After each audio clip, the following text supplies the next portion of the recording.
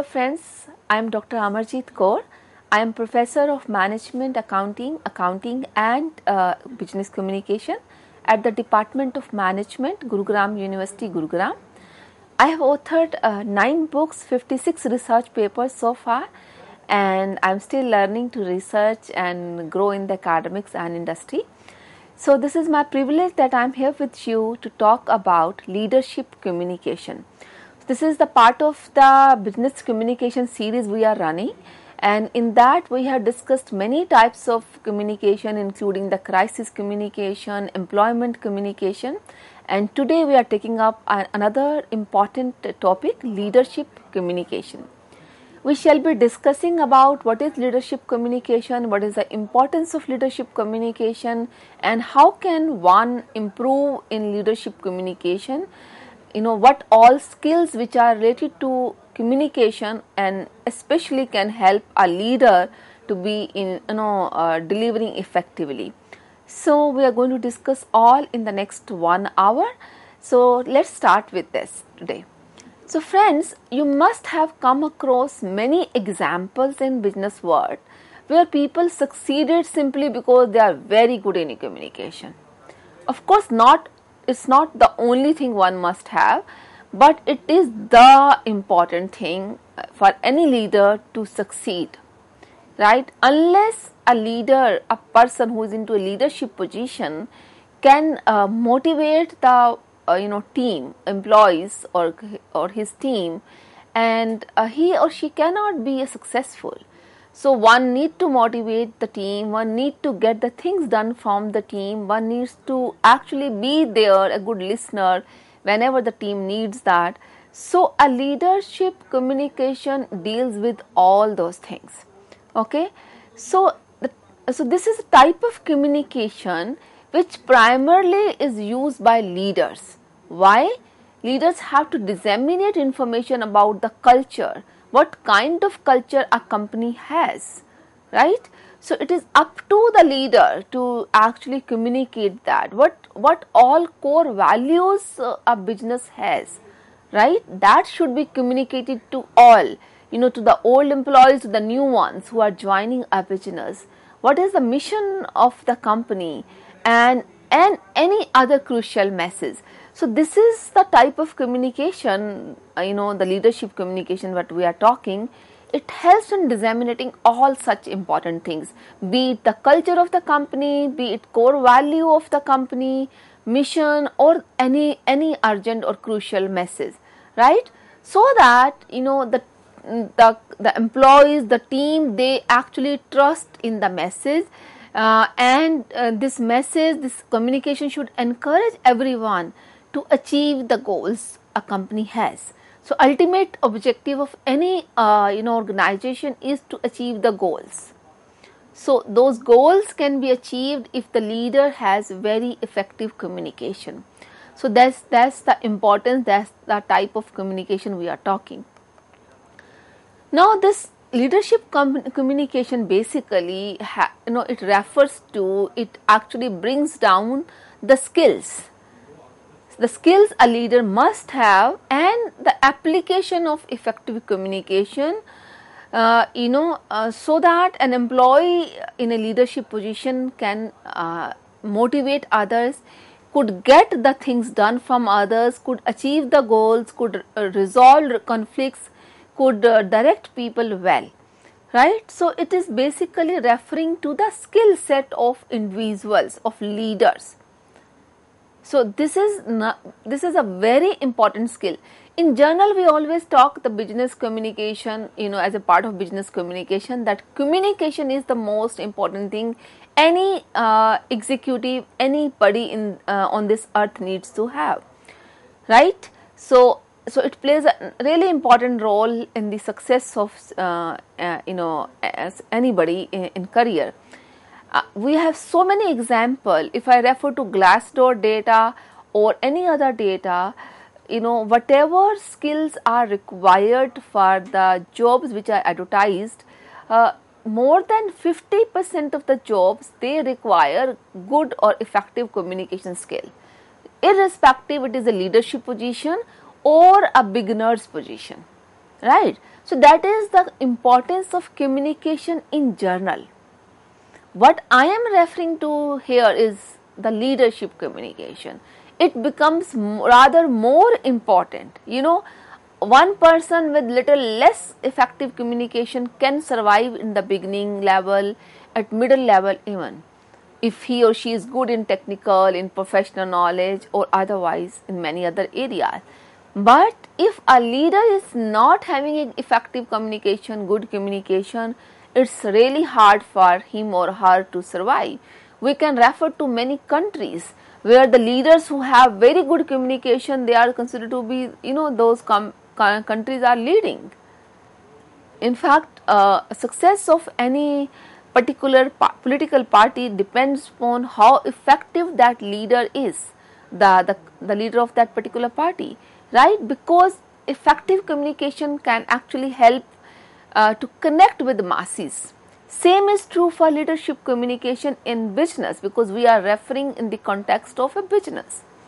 So, in a leadership position uh, for any business, this is the most desirable skill, right? So, how this skill is developed and how this skill is applied, both are important and that is what constitute the leadership communication. Okay. So, this actually is management of both internal and external communication which is used by a leader to communicate with the team members and to socialize, you know. So, it could be team members to, with whom a leader is meeting right how a leader is socializing with the team members how a leader is communicating internally as well as externally about about the company's vision mission goals etc etc just imagine we have recently seen the crisis in the world economy. Yes i am referring to covid 19 you all could get it right. And you can see there are hundreds and hundreds of examples how companies actually uh, dealt with that challenge. Most of the companies, their leaders came up, they spoke about the issue, and it was, you know, those companies where the leaders were carrying some empathical conversation, were appreciative of the problem, and then were sharing their decisions, be it, you know, uh, firing people, be it you know shrinking the size of the employees, or you know showing those pink slips, whatever. You know it could be any hard decision, any crucial thing, but it all depends how that leader starts with, connects with the masses, with the people, how our leader socialize. So that really decides the decision will be successful or a failure any decision be it the decision regarding bringing a change change in processes change in production change in uh, policies cha any kind of change adopting new practices everything becomes possible more easy more effective if leader has effective communication. And that's what the leadership communication means that somebody possesses that skill and applies into the communication internally or externally and especially the internally right with the team members. So that's what leadership communication is.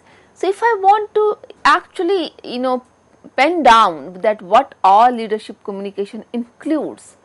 So it uh, it actually includes the method by which a leader give and receive instruction. You know most of the time leaders are supposed to give instructions to the team member. You know uh, complete this project by this date. I want this report by this date. You know the same message that that report is required on 30th of july can be communicated in a different way. You just see you will you know the same thing that finish your meal if your da- if your father or mother tells you finish your food you know. So it all depends. How does it how does that message come? Your response will depend upon how that message has been told to you or communicated to you right? Message is same. Finish your meal. Or supply this report by 30th i want what is the requirement here in a business for example to get a report by 30th but how do i communicate as a leader Do I build some storyline around? Do I share the problem we will face uh, uh, if we are unable to submit the uh, you know report by 30th? Uh, do I share the background? Do I give the justification that why I am demanding this report by 30th? Or simply I say as an instruction, give me this or submit me this report by 30th. You know, this is my tone. Submit this report by 30th. This report should come on my table by 30th. You know, can you imagine the kind of tone uh, if being used will, if, how will it affect? Right? and somebody may say that see the last time we lost the tender we could not submit the tender online on time or the business of the country company is going down by you know it has went down by 18% and we need to revive our our uh, promotions our packages are dependent on the business we bring to the company and we have limitation i hope you all understand that we need to submit this tender by to 30th. I understand the time is very short. I may sound, uh, you know, over demanding, but tell me, do we have any option? Just think about it. If you agree that yes, we need to submit this standard by 30th, I, I, so it should be prepared by you. So, could you see the difference in this one example? One was just giving the instruction without any plea, without any justification. Submit me the report by 30th. This report should come on my table by 30th. We have seen such statements coming from leaders, right? And on the other hand, another example I gave, so so same instruction, right? Giving or receiving instruction that how a leader gives instruction matters a lot sometimes leaders give instruction in a very uh, you know flux manner it's okay uh, you know you can submit the report by 30th it's okay if you submit it by 31st we may struggle. Uh, that's okay uh, you know i will be able to convince uh, if it is not, it doesn't come on 30th or 31st can you imagine? The moment such flux is there in the message it is going to uh, you know the the majority of the people say it's okay 30th is not essential like 30th is not the deadline. It's not the real deadline. It's not so urgent that it should be submitted on 30th you may you may trying you may you may be trying to be nice you may be trying to be flexible but you were not firm as a leader. And that's it. And that's the end of the story. Right? So, how we give or receive instruction that's also is the part of the leadership communication.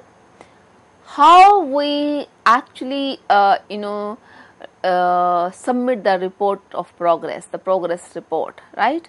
So, even that is the part of leadership communication. So, let's say uh, let's say there's a uh, uh, you know policy of the company to submit uh, uh, you know sales report by every month or by every uh, fortnight. So uh, one could be I simply share the numbers in as a leader as a leader of the sales team uh, North India head or uh, you know it could be country head sales country head submitting the report. So how does he or she communicate? It matters. That is also part of leadership communication because uh, you know this is of course the leadership communication that a progress report is submitted and how it is submitted is another matter is another thing that will it be effective or not but whenever a leader submits the progress report for sales or production for any new product development for any research, research and development activity for any activity for promotion for follow up with uh, tax authorities for follow up so, any kind of progress report being submitted is also part of leadership communication.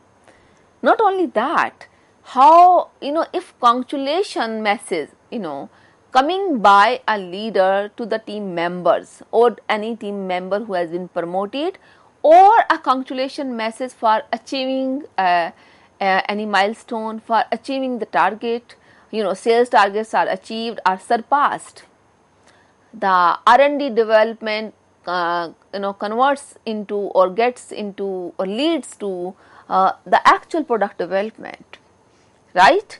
Uh, any success in any venture is actually actually deserves a con- you know, con- congrats message.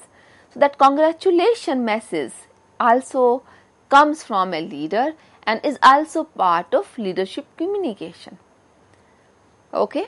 Then uh, any kind of conflict is there so a leader has to mediate has to administer the punishment even for times right? Sometimes team members uh, are changed from one to another team. Sometimes the people are told to leave. Sometimes uh, the you know so everybody sits across the table and discusses the conflict.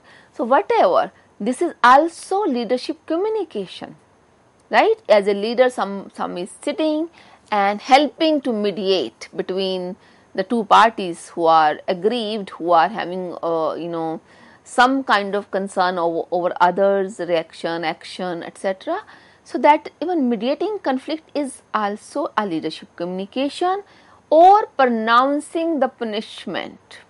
So, so if I as a dean of the faculty of commerce and management you know pronounces punishment to any student or any faculty for that matter you know it is part of my leadership communication that that is also leadership communication. How do i do is is a matter of effective or ineffective leadership right? But otherwise this pronouncement of punishment uh, mediating conflict is leadership communication. Okay? So in all whatever we have discussed so far is this that leadership communication can actually uh, encourage team members to perform their work effectively. This actually plays that that much role you know. Someone's leaders are generally not supposed to be working themselves on products or projects or in operation they are supposed to be getting the work done from the team member. The size of team could vary from organization to organization and from leader to leader. Some leader may have a team of 20, some another leader may have team of 500 or 5000, right? It all depends upon the leadership position. Even leaders are there for at, at many levels. Leaders are just not there at the top level only, mind you. At every level we have a leadership position even at middle level we have leadership position. At top level of course we have the leadership position. Right? So the effective leadership communication actually encourages a team to perform effectively. Just to you know bring out the importance or of the uh, you know leadership which we are going to discuss one by one what all are important points. And this actually fosters trust a trusting work environment which helps members you know feel comfortable in sharing the feelings sharing their ideas sharing their concerns. What will happen if the team members are afraid of leader? They are afraid of you know passing by the room of the leader. We do have such kind of leaders. It's not that it is not true so, what will happen there? Just imagine. Certainly, a team member will find, you know, no way to share his, uh, you know, idea. It could be the best of the best idea, but he or she is hesitant sharing because leader has not developed that kind of trust within the team. He has not given them indication that your my doors are open Today only I interacted with one of the groups who joined university uh, at you know today and the first thing I told my students that particular group is this that uh, my, my office has an open door policy. You can walk in anytime. You need not to go to my office to seek appointment and see me. You need not to ask my office to, you know, and put up an application and then I will decide on the application. Just walk into my office we have an open door policy. This is the first message I gave to a bunch of students who joined today. What does it mean? Certainly, the majority of them will feel you know, comfortable and confidence coming to me with their problem, with their ideas, with their suggestions for improvement of the department, right? So, what kind of confidence a leader brings in the team members so that the team members feel comfortable in sharing, this will decide the growth of the team, growth of the institution or the department or the or the company, right? A team could have concerns. They are not having uh, appropriate uh, working conditions. They do not have, uh, let's say, enough facilities to work in. They do have concern about their health. There ha- some hazards. They have some concerns about the deadlines. So if they feel, or even the idea which has, or the policy which has been implemented, it is a possibility that leader introduced something and uh, there was some mistake, some error in uh, in assessment, in estimation the condition, and team members who are working at the bottom of the uh, you know uh, at, at the bottom at the ground, they realized it. But if uh, the team members are not confident coming back to the leader, telling them, sharing the concern that this is what they foresee, which probably has been missed somehow. So, what will be the fate? the fate would be that plan will be going to be a failure, isn't it? So that failure can be saved if there is a effective leadership communication, right? So friends, I am going to discuss in this pretext, you know, with this background in mind, the importance of leadership communication skills.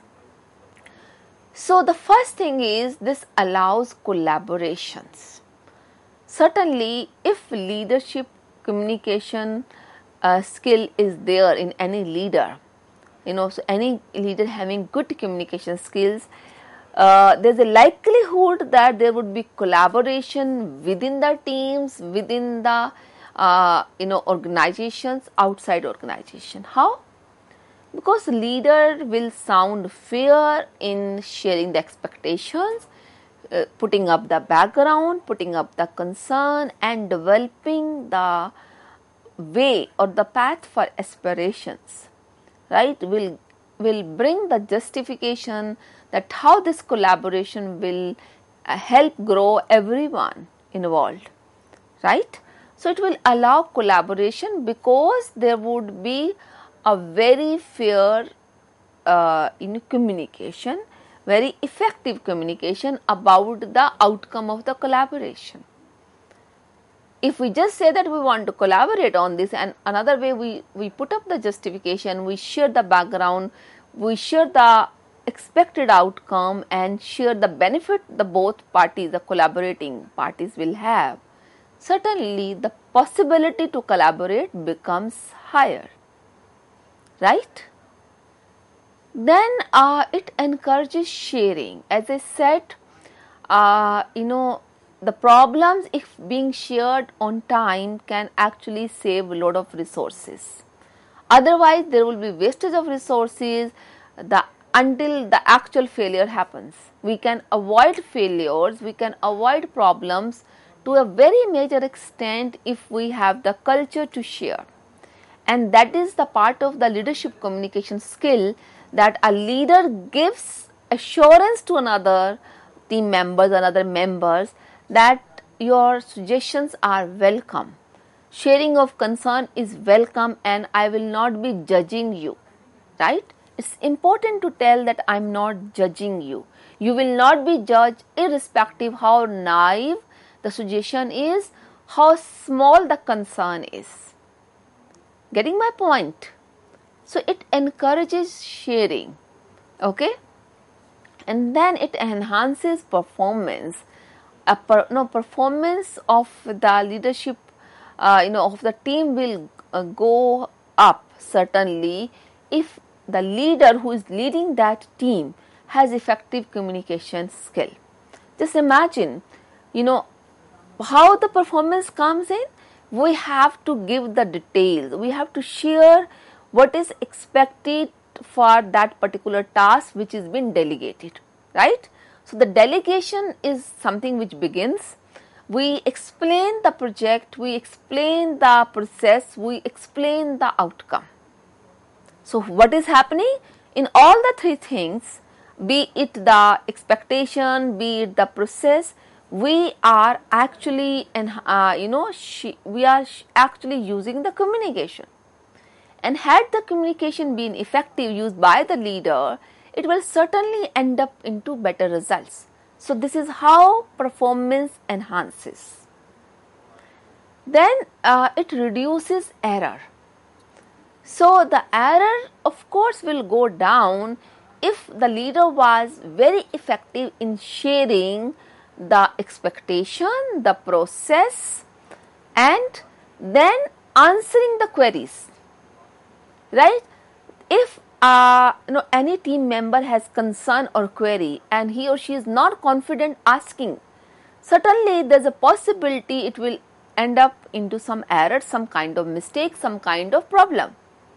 But if the same team member was given an opportunity to raise the concern, seek clarification and leader was encouraging them to seek the uh, clarification. So that is the part of leadership communication. The feedback is part of communication, right? So if I'm, let's say I'm explaining that how to uh, complete a particular task and during the explanation, during the briefing, I am encouraging my team member to please ask as many questions as you have, any doubt, whichever or whatever it is, which means I am reducing the possibility of error in that task, right? So that's what the leadership communication ends to or leads to. Another importance of leadership communication is it improves efficiency. If the errors possibilities for errors are reduced, if the explanation is well, the briefing is good, certainly, you know, and there's a cordial environment, there's a motivation for everyone to ask, whosoever communicates that there's a good you know, congratulations message, there's a good motivation coming from the leaders, of course the efficiency will go up. It's not the money all the time which plays a role, believe me or not. At certain level, you know, money is important, but after or beyond that level, it is that how you are acknowledged in the team and if leader is good in communication uh, uh, skills is vocal to accept the contribution of the team members so that is in words right? In written or the verbal words that leads to improving the efficiency of team members. And the last thing is it improves the motivation of team. How does it improve the motivation? I'm I am listening to you guys as a team as a leader.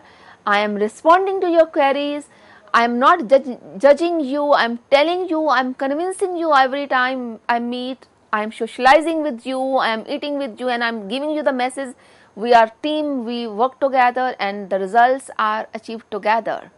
If that kind of communication is coming openly, clearly, in straight words from a leader, certainly the team gets motivated and this is this is the importance of leadership communication skill right? So i hope i was able to explain you well that what is leadership communication and what is the importance of leadership communication in achieving goals of any business.